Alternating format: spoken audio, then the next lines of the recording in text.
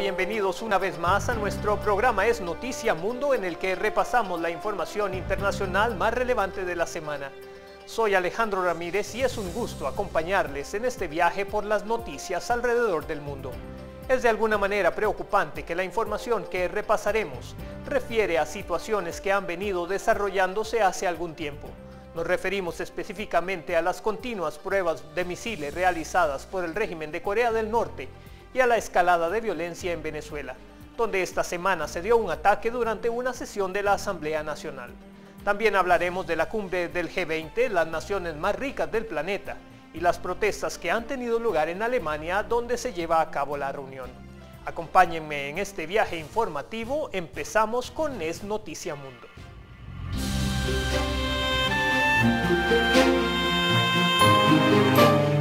Corea del Norte continúa realizando pruebas con misiles y de nuevo informa que los dispositivos tienen capacidad de llegar prácticamente a cualquier lugar del planeta. El régimen de Corea del Norte aseguró este martes que ha probado con éxito un misil balístico intercontinental capaz de alcanzar cualquier parte del mundo, según anunció a través de su televisión estatal KCTV. La cadena indicó que se trata de un misil nuevo bautizado Wanson 14, que alcanzó una altura máxima de unos 2.802 kilómetros y recorrió 933 kilómetros en 39 minutos. Durante la mañana de este martes, las autoridades de Seúl y Tokio anunciaron que el ejército norcoreano había lanzado un misil en torno a las 10 menos 20 de la mañana hora local desde la provincia de Pyongyang del Norte.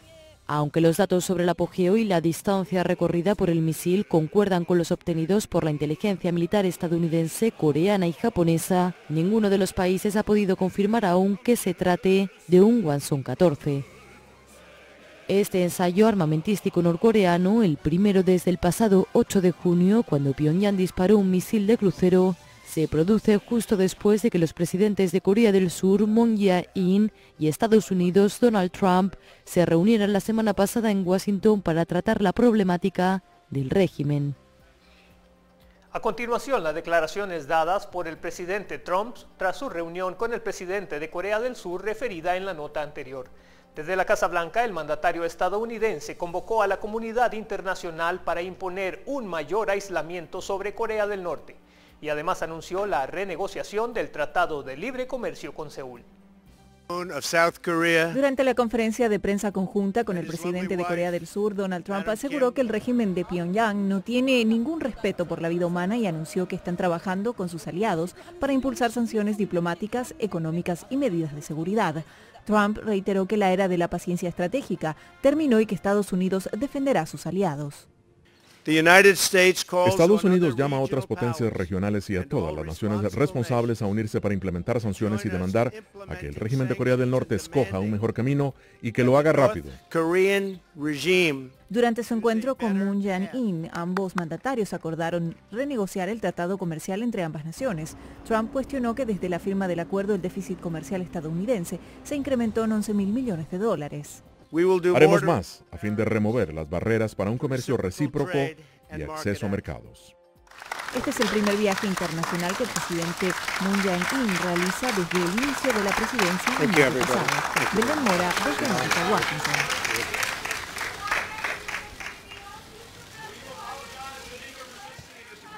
La embajadora de Estados Unidos ante la ONU, Nikki Haley, también se refirió a la escalada desestabilizadora de Corea del Norte y sus continuas demostraciones militares, afirmando que por ahora no se vislumbra una salida diplomática a las tensas relaciones entre ambos países.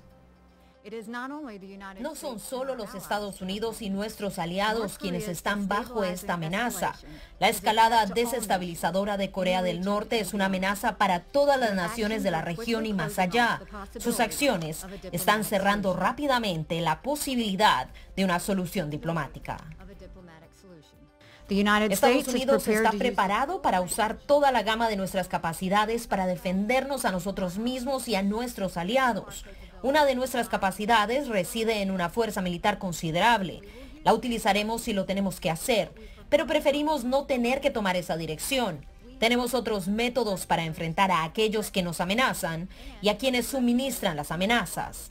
Tenemos grandes capacidades en el área de comercio. Por su parte, China y Rusia se unieron para hacerle frente al conflicto coreano con la propuesta de congelar las maniobras militares conjuntas de Estados Unidos y Corea del Sur. Los presidentes de Rusia Vladimir Putin y de China Xi Jinping acordaron hoy promover una iniciativa común para arreglar el conflicto coreano que incluye la congelación del programa armamentístico de Corea del Norte y las maniobras de Estados Unidos y Corea del Sur.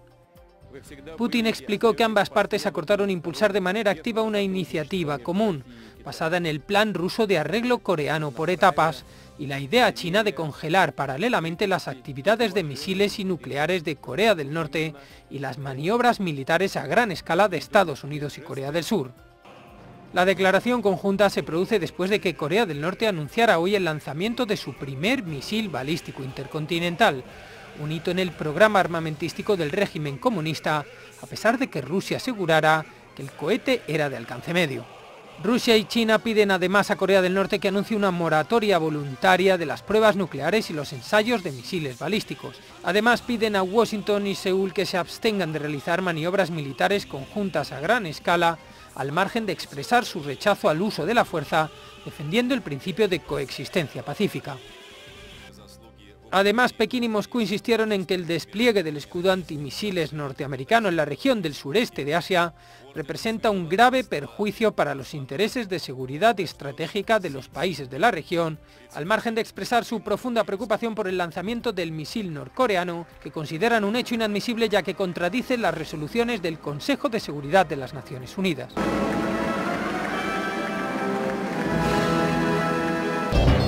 Gracias por continuar con nosotros en nuestro programa Es Noticia Mundo. Cuando la tensa situación de Venezuela llega a niveles que parecen difíciles de superar, nuevos acontecimientos sacuden el panorama político.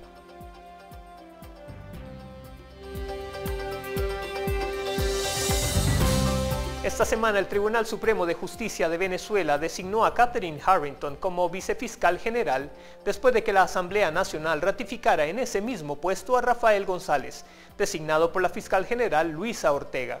El presidente de la Sala Constitucional del Supremo, Juan Mendoza, anunció el nombramiento de Harrington y explicó que la designación de González fue anulada debido a que no fue revisada por la Cámara, que según el Tribunal Supremo se encuentra en desacato.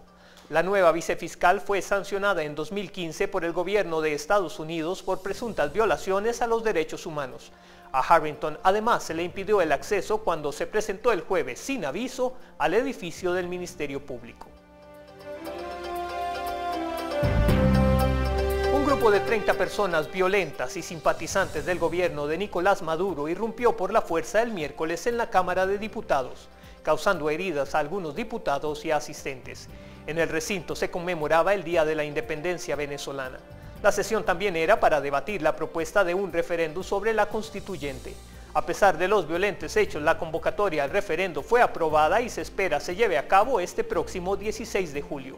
Por su parte, el presidente Maduro tachó de inconstitucional cualquier consulta popular impulsada al margen del poder electoral y determinó que el Consejo Nacional Electoral es el único poder que puede organizar cualquier proceso de votaciones.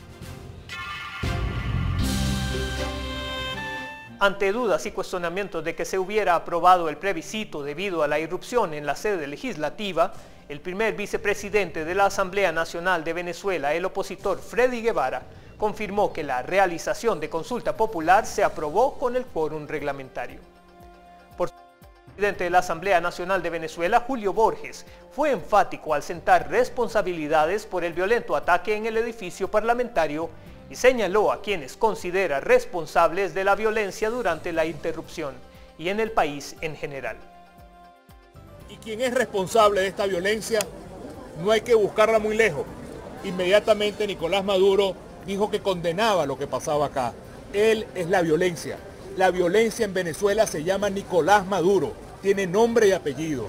Las personas que vinieron hoy, periodistas de Venezolana de Televisión, que tienen programas de televisión en Venezolana de Televisión, candidatos a la constituyente que vinieron hoy a irrumpir acá, dirigentes del PSUV de Caracas, con violencia, incluso uno de ellos herido de bala, producto del mal manejo y el mal uso de las armas, para nosotros representa la Venezuela violenta que rechazamos y que no queremos. nosotros estamos acá firmes, todos los diputados, para darle a Venezuela un mensaje de lucha, de ánimo, de energía, de certeza y que sepa el pueblo venezolano que quien está débil es el gobierno, que tiene que recurrir al miedo de la fuerza bruta y la represión para tratar de doblegar a una Venezuela que tiene una decisión firme de luchar y lograr que en Venezuela quien reine, quien gobierne, sea la libertad, sea la justicia, sea la dignidad. Nadie podrá con Venezuela libre. Hace 206 años, el 5 de julio de 1811, un parlamento como este selló la historia libre de Venezuela. 206 años después, nosotros reafirmamos esa promesa y queremos decirle al pueblo venezolano que nada, ni nadie podrá detener la decisión libre, democrática. Gracias por seguir con nosotros en nuestro programa Es Noticia Mundo en este tercer bloque. La información referente a la cumbre de los 20 países considerados como los más ricos del planeta.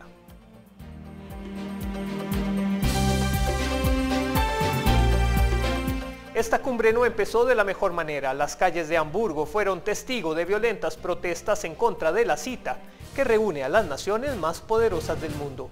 Varios automóviles fueron incendiados al este de la ciudad previo al inicio del G20 este viernes.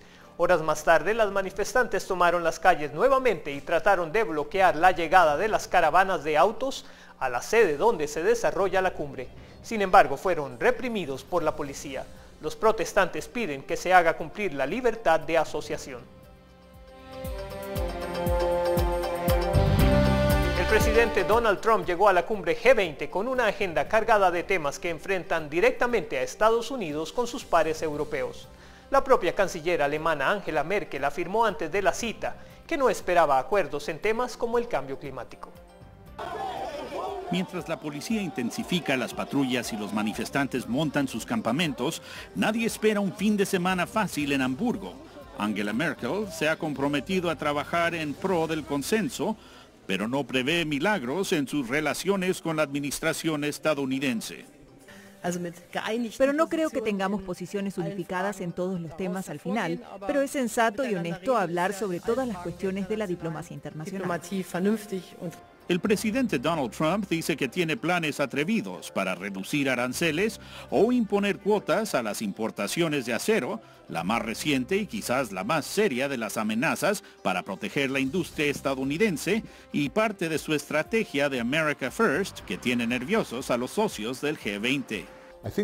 Creo que al final del día él probablemente quiere el libre comercio en el sentido de ganar-ganar, pero lo que él está tratando de exponer es tal vez parte de la hipocresía de países como China que hablan de la franqueza pero no siempre cumplen.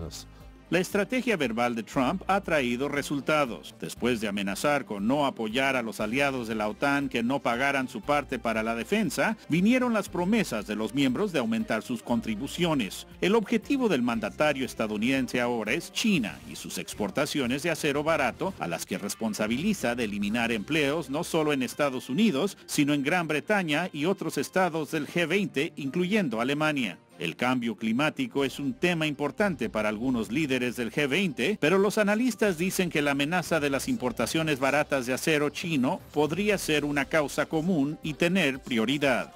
Si los jefes de Estado logran encontrar terreno común, estará en marcado contraste con lo que se ve en las calles de Hamburgo, donde los manifestantes han estado desde principios de semana. Luis Ramírez, Voz de América, Londres. Los presidentes de Rusia, Vladimir Putin, y de Estados Unidos, Donald Trump, se reunieron por primera vez cara a cara aprovechando su asistencia al G20.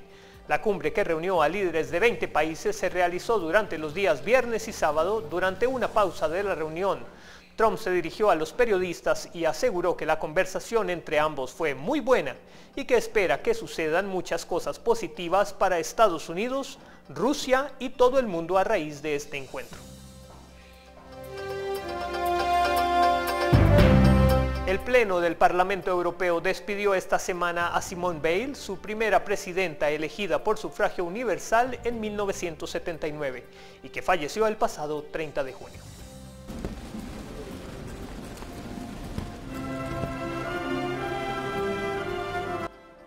El Pleno del Parlamento Europeo despidió hoy a su primera presidenta, la superviviente de Auschwitz, Simone Veil, figura histórica imprescindible tanto para la integración europea como para el feminismo en Francia. Veil, fallecida el pasado viernes, fue la primera presidenta del Parlamento Europeo, elegida por sufragio universal en 1978. El himno de la alegría volvió a sonar en el Parlamento Europeo tan solo 72 horas después de que en el mismo hemiciclo rindieran homenaje al ex canciller alemán Edmund Kohl, aunque el adiós europarlamentario a la liberal francesa fue mucho más discreto en este caso y duró apenas 20 minutos antes de las votaciones del día. Como Edmund Kohl, Veil perteneció a esa generación de políticos que vivió los horrores de la Segunda Guerra Mundial y que pese a ello apostó por una Europa unida y fuerte que superase las rencillas del pasado. El presidente de la Eurocámara, Antonio Tajani, tuvo unas palabras para Veil y recordó que fue una deportada de los campos de exterminio nazis, en los que murió su familia de tradición judía y cómo desde los 16 años llevaba inscrito en el brazo el número 78615 que le pusieron en el campo de concentración. Pese a todo, Veil prosiguió con su voluntad europeísta y de reconciliación en pro de la integración europea, algo que le valió, entre otros reconocimientos, un premio Príncipe de Asturias de la Cooperación Internacional en 2005.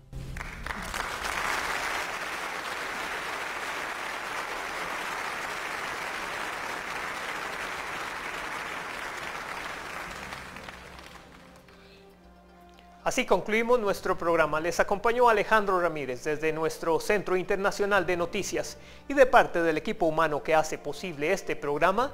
Les deseamos un muy bonito fin de semana. Hasta la próxima.